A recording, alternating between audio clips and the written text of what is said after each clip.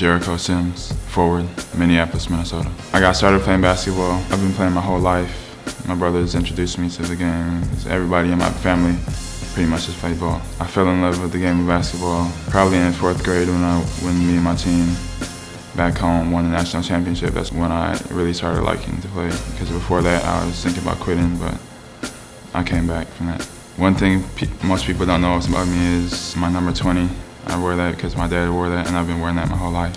I'm motivated to be successful because all the people are counting on me and put their effort and energy into me to become the person I am becoming and who I hope to become.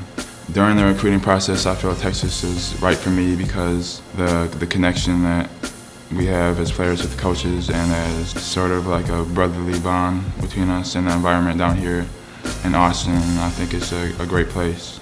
My first few weeks of summer on campus have been a great experience getting used to this place and getting used to what is going to be expected from me for the rest of the year.